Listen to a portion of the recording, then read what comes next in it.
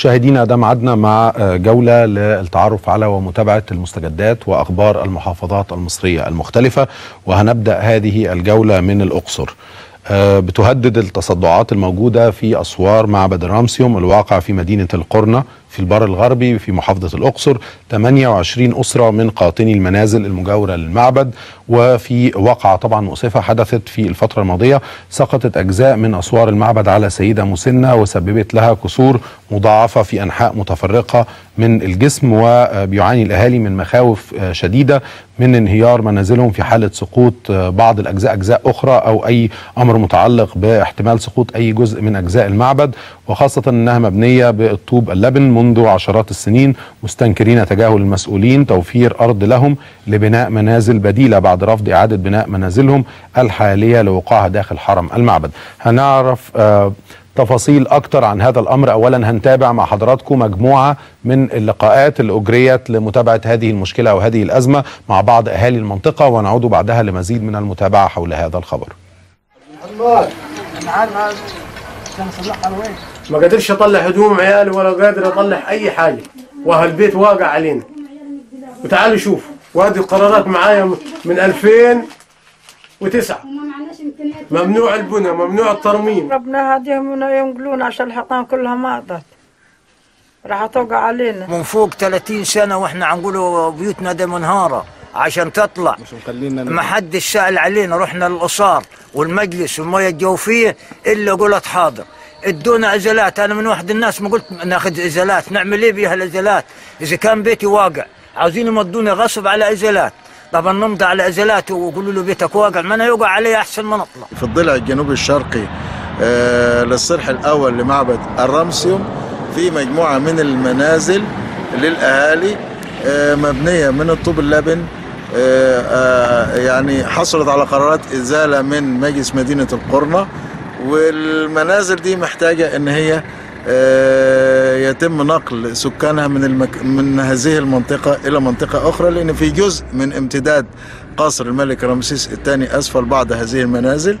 ومن الممكن نظرا للظروف المادية اللي بتمر بها الدولة سواء المحافظة أو الآثار إن هؤلاء المواطنين يتم تعويضهم بأراضي يعني ضعف أو ثلاث أضعاف مساحة الأرض المقام عليها المنزل. في المنطقة الموجودة على الطريق الصحراوي بالتنسيق مع سيادة الوزير المحافظ بحيث يتم نقل هؤلاء السكان في أقرب فرصة للمكان ده. معنا على الهاتف الأستاذ محمد عبد المقصود رئيس قطاع الآثار المصرية. أستاذ محمد أهلا بحضرتك. أهلا وسهلا أستاذ محمد يعني اولا كيف تقيم كخبير في هذا القطاع أو هذا المجال حجم المشكلة من وجهة نظر حضرتك؟ هو طب بس عشان أوضح اولا المشكلة ما تخصش الاثار لوحدها. نعم. المشكلة اولا إن الأهالي بيتضرروا من تصدع في البيوت بتاعتهم مش بسبب الاثار. التصدع تم بسبب تخفيض مشروعات تخفيض المياه الجوفية في هذه المنطقة. هذه المشروعات طبعا اللي خفضت المياه الجوفية قامت بها المحافظة والآثار جهه مستفيدة من الموضوع زيها زي الأهالي. أما المباني المنازل اللي تصدعت دي كان بسبب مشروع المياه الجوفية وليس بسبب إن المعبد هيقع عليهم أو حاجة زي كده. نعم. طيب من وجهة النظر الخاصة بخبراء الآثار حضرتك النهارده من القيادات في هذا المجال رئيس قطاع الآثار المصرية. كيف ترى حجم خطورة المشكلة؟ إن وجدت خطورة أيضا أو بعد خطر جدا على القيمة الأثرية والتاريخية لهذا المعبد. رأي حضرتك إيه من من وجهة النظر دي؟ هو طبعا ان ان إن وزارة الدولة للآثار يعني بتتبع أسلوب في التعامل مع الأهالي اللي بيحيطوا بالاثر أسلوب علاقه المفروض تكون العلاقة طبعا يعني ما فيهاش جهه عدائية وما فيهاش أي شيء طبعا إن هو يبقى فيه إجبار لهؤلاء الأهالي. فتم تهجير آه بعض الأهالي من مساكن من منطقة القرنه وتم إعطائهم منازل بديلة وتم إعطائهم أرض. وإلا إن في بعض الأسر يكون في واحد في البيت يقول لك لا ده أنا وابني وبنتي وخالي وعمي وكل واحد يبقى عاوز بيت يعني البيت الواحد محتاج انت تعوضه ب 10 بيوت ده حصل الكلام ده. عشان كده طبعا محافظة الأقصر ما قدرتش توفي بالمساله مسألة الإزالات اللي بتحصل إنما البيت هيقع ومتهدم. طب ما هو يقبل إن هو يتنقل في مكان جديد. يبقى هو قاعد في بيت عاوز ليه أربع بيوت أو خمسة. يعني الناس اللي موجودين في البيت دول أصلا مع بعض طب أستاذ محمد يعني يعني استكمالا للنقطة دي حضرتك بتقول إن المحافظة الدولة عرضت عليهم ولكن مكان واحد؟ الدولة, الدولة عرضت واتنقل ناس كتيرة جدا. وفي ناس رفضوا عاوزين أكتر. يعني في ناس رفضوا عاوزين أكتر. واخد بال حضرتك؟ لكن. التعدي على الآثار وإقامة منازل فوق أرض الآثار الآثار دي ثروة بتهم البلد كلها. وليس طبعا بتهم شخص واحد هو عامل بيت فوق معبد الآثار يبقى هو مو- موجود وخلاص. ده يبقى في أنانية في الموضوع. لأن لأن الثورة دي الثروة دي كنز بالنسبة لمصر هي الآثار.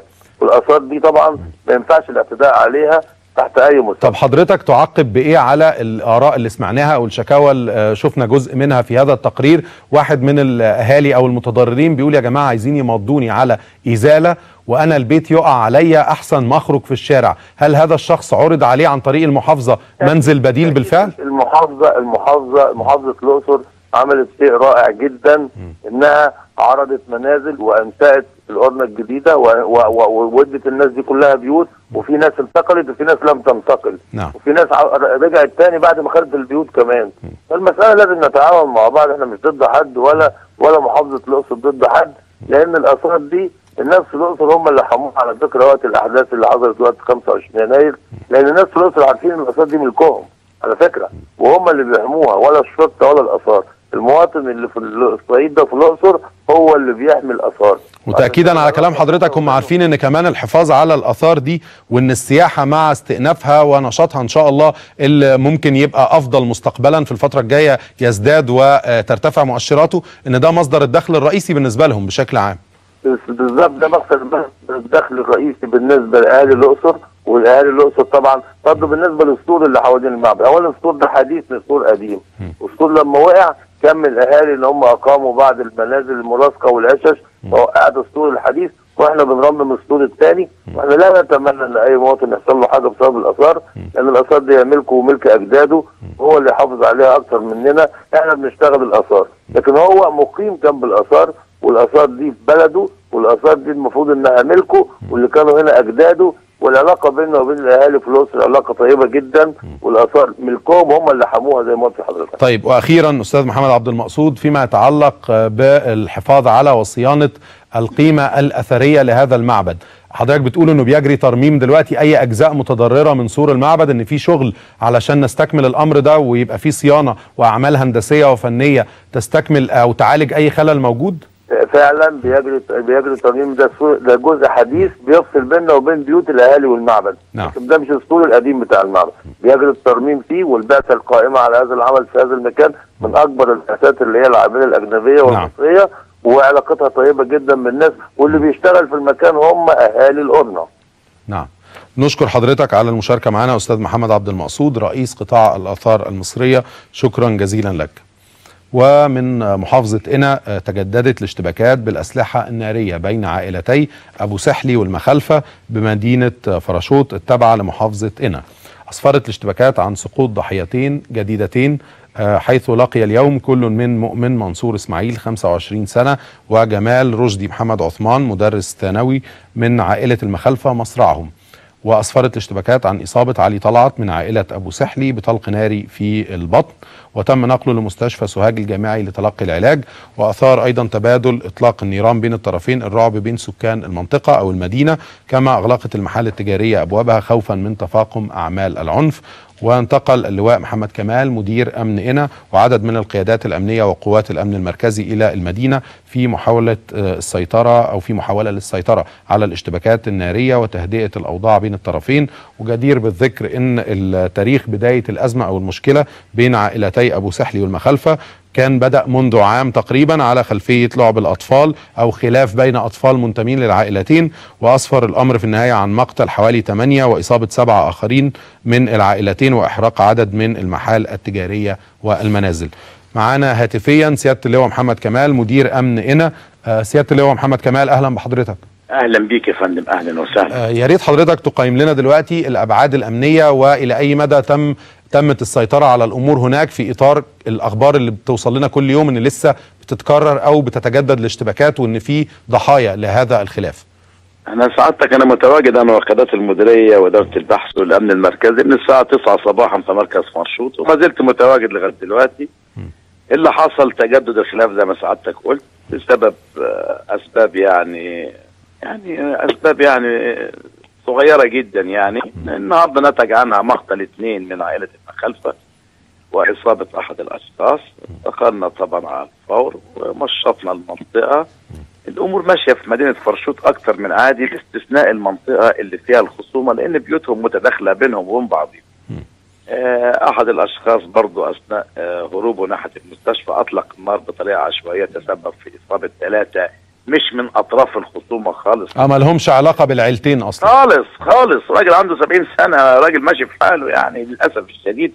عادة الطرس سعادتك عارف عادة سيئة في الوجه القبلي إحنا بنناشد الناس اللي, اللي ليها في في في المصالحات آه، رجال الدين الناس المحترمين من الطرفين. حقن الدماء يعني. القانون ياخد مجراه إحنا من ناحيتنا طبعا بنستهدف طرفين الخصومة كل فترة. طب آه، سيادة اللواء هل قمتم برعاية أي جلسات صلح أو محاولة للتوافق بين كبار العيلتين في الفترة اللي فاتت؟ أنا عن طريق حضرتك بمد إيدي لأي حد مستعد للمصالحة. مش في في في الخصومات دي بس. ده في كل خصومات هنا. إحنا عملنا سبع مصالحات من ساعة ما جينا في هنا وبكرة إن شاء الله حاضر مصالحة تانية في مركز دشنا إحنا بن- بنشجع والوزارة ومعالي الوزير كلنا بنشجع موضوع المصالحات حقنا للدماء وعشان الناس بقى تعيش في سلام وأمن ونبطل العادة السيئة بتاعت ال- الطار اللي للأسف منتشرة في الوجه القبلي واللي ساعد عليها طبعا وجود كميات من ال- نعم. السلاح طبعا ده شيء ما يخفاش على حد يعني. نشكر حضرتك سيادة اللواء محمد كمال مدير أمن قنا آه، شكرا جزيلا لك. وإلى السويس تمت اليوم آه، قرعة توزيع المساكن للمتزوجين بمدينة السويس بالصالة المغطاة وخصصت المحافظة 537 وحدة سكنية بمدن النهضة والشهداء والحرية. وأجريت القرعة بحضور محافظ السويس اللواء العربي السروري. ولمزيد من المتابعة والتفاصيل حول هذا الخبر وقدامنا طبعا جانب من فعاليات إجراء القرعة نفسها وتواجد الأهالي خلال الع- عفوا المحافظ اللواء العربي السروي. وبعد ما تابعنا أو ما زلنا نتابع جانب من اللقطات على هامش هذه الاحتفالية مع حضراتكم على الشاشة بنشوف جانب منها الآن. معانا هاتفيا محافظ السويس اللواء العربي السروي. سيادة المحافظ أهلا بحضرتك. مساء الخير يا أستاذ محمد ومساء الخير على مشاهدينا الكرام. مساء الخير أهلا بحضرتك عايزين نعرف آه، يعني آه، رؤية حضرتك لأهمية وجود هذا النشاط في عدد من المحافظات المصرية ويعني هل هناك آه، نوايا واتجاهات لاستمرار العمل المجتمعي أو اللي بيساعد في التخفيف عن الأسر المصرية وتسهيل مشكلاتها والله خليني أقول لحضرتك في الأول عشان نرد الفضل لأهله هذه ال- العدد من الوحدات السكنية التي أجريت عليها القرعه اليوم كانت موجودة آه، في الفترات السابقة وتم الانتهاء منها إلا إنه كان عندها مشكلة في إجراء في تنفيذ عملية المرافق. آه، من أول دقيقة وإحنا بنشتغل في هذا الموضوع والحمد لله يعني بدأنا في عمل المرافق. الوحدات دي حوالي فوق ال 3800 وحدة سكنية. آه حاليا بنجري آه أعمال المرافق اللازمه صرف صحي وميه وكهرباء. وسبق الاجر يعني سيادة المحافظ موضوع لها خطة زمنية تمتد لقد إيه تقريبا حتى تصل المرافق كاملة إلى كل الوحدات. حاضر. آه ال- ال- ال- المرافق آه تم آه طرحها وخلال أربع شهور إن شاء الله سيتم الانتهاء منها وبالتالي الانتهاء من تسليم ال 3800 وحدة بتوع مدينة الشهداء والحرية والنهضه. النهارده كانت القرعه الأخيرة. كان المقرر إن إحنا نجري 500 القرعة 137 مستفيد من من هذه الوحدات السكنية. حضر فقط 389 كل واحد فيهم خصصت له النسبة السكنية بتاعته بقى عارف رقم العمارة ورقم الشقة. لأنه للأسف برضه تخلف 148 يعني آه، أعلنا في آه، وسائل آه، الإعلام المختلفه إذاعة القناة وتلفزيون القناة والصفحه الرسميه وأعلنا في أماكن كثيرة عن تنفيذ اجراءات. عموما اللي حضر 389 فقط تخلف 148 إن شاء الله هضطر أعمل لهم قرعة أخيرة للمتخلفين وننهي آه، أعمال آه لاستكمال توزيع باقي الوحدات المتبقية. بالظبط كده. الجديد في الموضوع إيه بقى؟ ده كان القديم. الجديد في الموضوع إن إحنا من من ساعة ما وصلنا والحقيقة آه مجهودات آه كبيرة من الحكومة المركزية وخاصة وزارة الاسكان والقوات المسلحة. آه بنبني حاليا 6000 وحدة جديدة غير دول. ومنتظر الانتهاء منهم إن شاء الله خلال من 6 إلى 9 شهر. منزلين فيهم 97 مقاول هينزلوا يشتغلوا بالتزامن في توقيت واحد.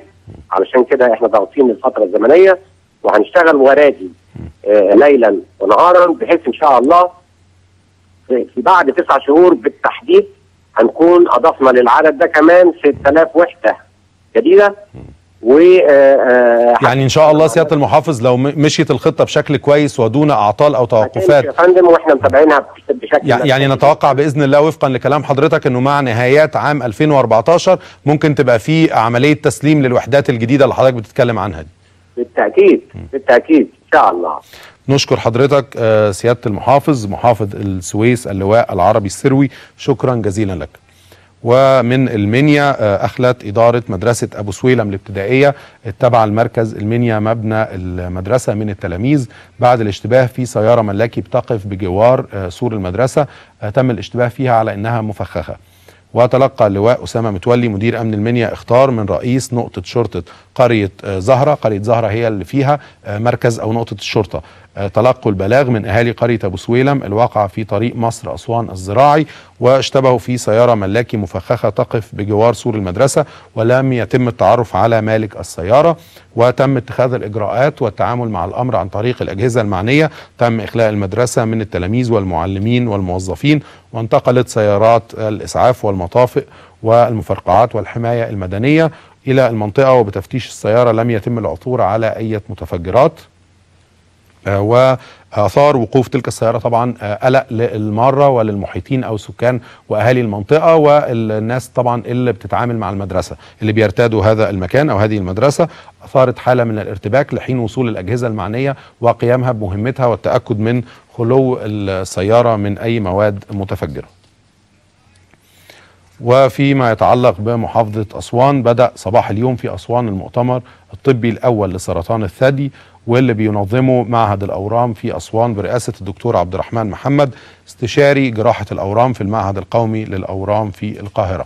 ومن جانبه أكد الدكتور هاني مصطفى مدير عام معهد الأورام في أسوان أن المؤتمر هو الأول من نوعه على مستوى جنوب الصعيد ويشارك فيه أكثر من آه، 100 طبيب متخصص في طب الأورام لتبادل الخبرات بينهم والتعرف على طريقة التعامل مع العينات المشتبه في إصابتها بالسرطان وتشخيصها بصورة صحيحة وعلاجها بشكل سريع.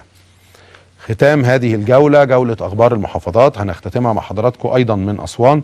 التقى آه، مصطفى يسري محافظ أسوان برومان بيتروف سفير دولة بلغاريا في مصر للبحث آه، ومناقشة آه، تدعيم سبل تعزيز الاستثمار في المحافظة. وأكد في هذا الإطار أكد محافظ أسوان على أن مناخ الاستثمار في محافظة أسوان آه، يعني مشجع جدا وجاذب لمشروعات جديدة في ظل توافر العديد من المقومات الاقتصادية الجيدة. وأشار آه، خلال لقائه بسفير بلغاريا في ديوان عام المحافظة إلى أن أسوان ستصبح مؤهلة في المستقبل لأن تكون محورا دوليا لمرور التجارة بين مصر ودول الكوميسا. ال 19 طبعا دولة. من جانبه أشاد السفير البلغاري بجمال المناطق السياحية والمزارات الأثرية وشاف إن في فرص جيدة للتعاون الاقتصادي والاستثماري بين البلدين بين آه، مصر وبلغاريا فيما يتعلق بالاستثمارات المتوقعة أو مشاركة الجانب البلغاري في دعم الاقتصاد ودعم طبعا الاستثمار بشكل عام في ربما السياحة أو بعض المجالات الأخرى في آه، وأضاف السفير البلغاري بيتروف إن مصر دولة قوية ومؤثرة في منطقة الشرق الأوسط وأضاف أيضا إن حجم التبادل التجاري بين البلدين وصل إلى حوالي 50 مليون دولار خلال العام الماضي وطبعا نتمنى زيادة حجم الاستثمارات أو التجارة آه، والتعاون الاستثماري والاقتصادي بين مصر وكافة دول العالم. ده كان آخر خبر ونهاية هذه الجولة للتعرف على آخر أخبار المحافظات. مشاهدينا فاصل ونعود لاستكمال فقراتنا المختلفة من خلال بث مباشر. ابقوا معنا.